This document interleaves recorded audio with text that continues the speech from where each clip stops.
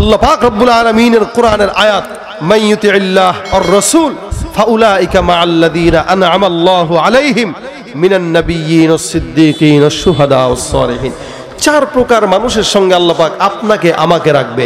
এক নম্বর নবী, দুই নম্বর সাহাবী, তিন নম্বর শহীদ, চার নম্বর ওলি বুজুর্গ, যারা আল্লাহ রসুলের সঙ্গে তাল্লুক রাখবেন, আল্লাহর সঙ্গে মোহাব্বত রাখবেন, আল্লাহ পাক আমাদের সকলকেই চার প্রকার মানুষের সঙ্গে জান্নাত দিবে।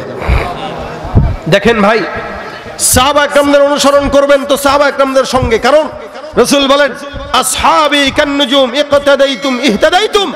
একজন সাহাবিকেও যদি কেউ ফলো করে শেষ বিনা হিসেবে জান্নাতি। হেদায়েতের রাস্তা মিলে যাবে। এই কারণে সাহাবা একরামদের মতো ইমানের বেলায় থাকব কঠোর, কুফুরির বেলায় থাকব কঠোর। আমাদের বাবারা কঠোর না। সারা রাত ফেসবুক চালায় ছেলেরা। জোয়ানরা সারা রাত মোবাইল চালায় ইউটিউব চালায় টিকটক চালায়। তখন কিছু বলে না। ফজরের নামাজ আজান দিছে, ডাকতে যদি বলে, মা, বাবা কয়, থাক, বাদ দাও, সন্তান আমার ঘুমাইছে মাত্র, কেমনে ডাকি? এই জায়গায় নরম, এই জায়গায় নরম, এই জায়গায় নরম হয়ে যায়। অথচ এই নরম হওয়াটা তার জাহান্নামে যাওয়ার কারণ, ঠিক না? এই জন্য এই জায়গায় কঠোর থাকতে হবে। সন্তান রাত সারা রাত কেন মোবাইল চালাবে?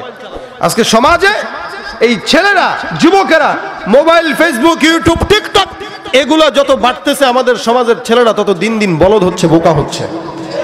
অমানুষ হচ্ছে।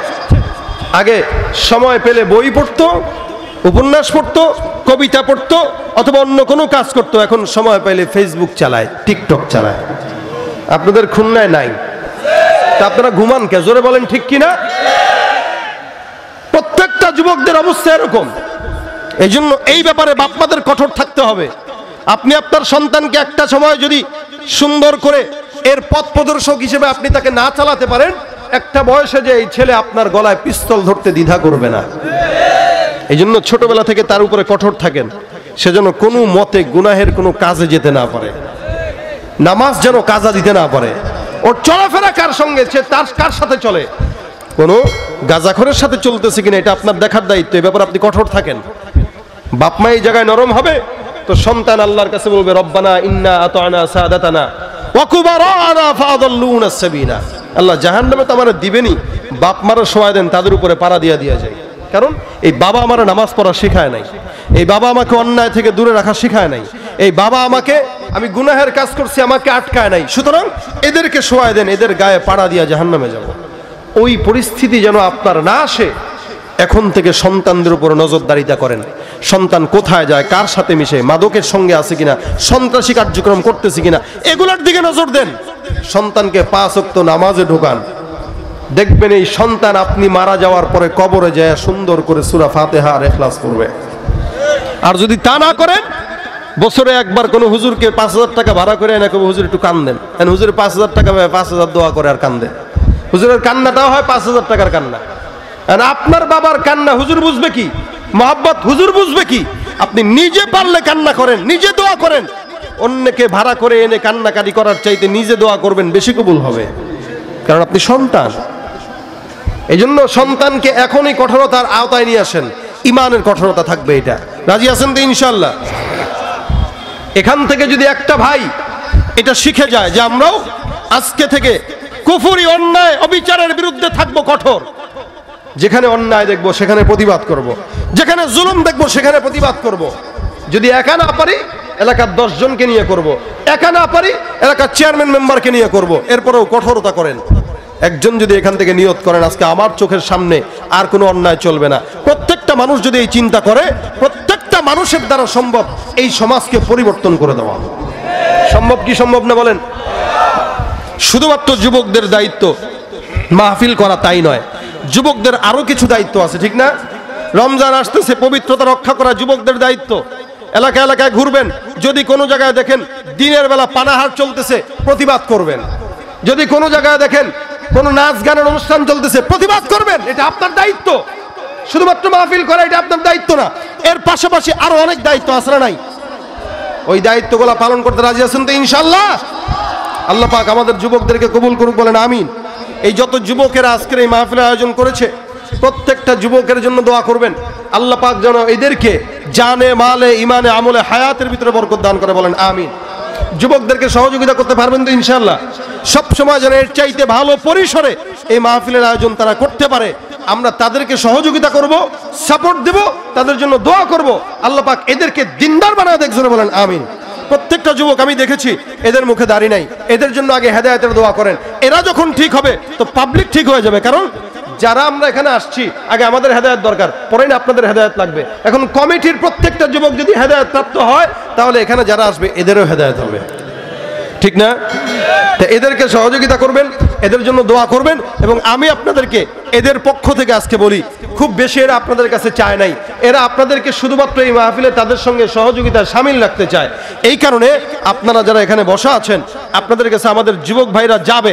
আপনারা আপনাদের পকেটের যতটুকু টাকা পারেন, ততটুকু দিয়ে তাদেরকে সহযোগিতা করবেন।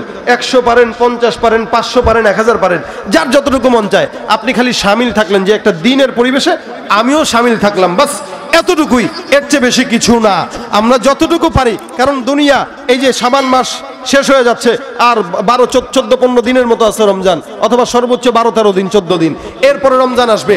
দানের হাত এখন থেকেই যদি না বাড়ান, এটার কোনো আপনার, এটার অভিজ্ঞতা হবে না এবং এটা আপনি রমজানেও করতে পারবেন না। প্রস্তুতি হিসেবে এখন থেকে দান সৎকার হাতটা বাড়ায় দেন। আমাদের কেউ জানি আমরা, আমাদের সাথে কাফনে পকেট থাকে না, খালি হাতে যাওয়া লাগে। ঠিক কিনা জোরে কম খালি হাতে যান না, পকেটে কিছু নিয়ে যান? পকেটে নিয়ে যাই। না, খালি হাতে যাই। খালি হাতে। তো সুতরাং আমাদের এই এই আজকের মাহফিলে যেই সমস্ত যুবকেরা, যেই সমস্ত যুবকেরা আপনাদের কাছে আবেদন করেছে, এদের জন্য বলি, এদেরকে সহযোগিতা করা আপনার, আমাদের দায়িত্ব। এরা যদি গুনাহের পথে চলে যায়, তাহলে সমাজ গুনাহের দিকে চলে যাবে। এই জন্য সমাজকে যেন আমরা পরিবর্তন করতে এই যুবকদের আমাদের বেশি বেশি দরকার। এজন্য যারা আছে এখানে, আমি আপনাদেরকে বলি, যুবকদেরকে একটু সহযোগিতা করবেন। এখানে যদি কেউ এরকম থাকেন যে ইনশাল্লাহ আমি সামনের বছরের জন্য, সামনের বছরের জন্য এই এই মাহফিলের প্যান্ডেলটা দিব। এরকম যদি এটা আমি যুবকটা আমাকে বলে নাই, কিন্তু আমার মনে হচ্ছে দশের লাঠি একের বোঝা। নাকি দশের বোঝা একের লাঠি, কোনটা? দশের লাঠি একের বোঝা। তো এই সব যুবকদেরকে যদি সহযোগিতা করে, আপনারা যুবকদের জন্য এতটুকু করেন যে সামনের বছর আমি প্যান্ডেল দিব অথবা আমি মাইক দিব অথবা আমি লাইট দেব অথবা আমি এই স্টেজ দেব অথবা আমি পোস্টার দেব এরকম কোন হৃদয়বান থাকলে আপনারা আওয়াজ দিবেন। ইনশাল্লাহ দোয়া করব আল্লাহ পাক জানে মালে বরকত দান করবে।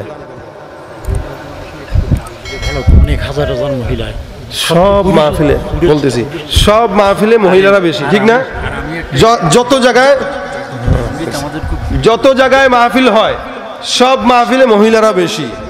মহিলারা সব জায়গায় বেশি হয়।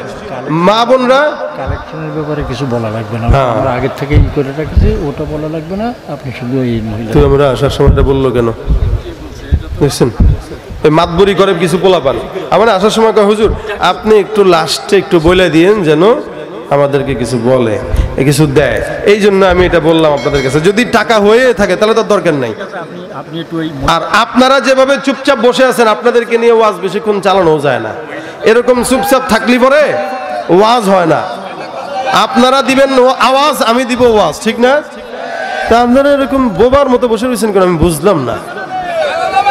আমি গজল গাইতে এসছি ওয়াজ করতে এসছি গজল যদি হয়, দুই দিন করবেন, একদিন কনসার্ট করবেন, একদিন ওয়াজ করবেন, ঠিক না? একদিন গজল করবেন, একদিন ওয়াজ করবেন। মন ভরে গজলও শুনবেন আরেকদিন ওয়াজ শুনবেন। তো দুই দিন ওয়াজ দেওয়া দরকার কি? আমারে নিয়ে আসছেন, গজল গাবো না ওয়াজ করব? হ্যাঁ? আমার ওয়াজ শেষ, কারণ আমি যত বড় প্রোগ্রাম হোক, এক ঘণ্টার উপর আমি কথা বলি না। যত বড় প্রোগ্রাম হোক, আমার নিজাম এক ঘণ্টা এক ঘণ্টা হয় আমার ওয়াজ শেষ হয়ে যায়। আজকেও এক ঘণ্টা হয়েছে আমার ওয়াজ শেষ হয়ে গেছে।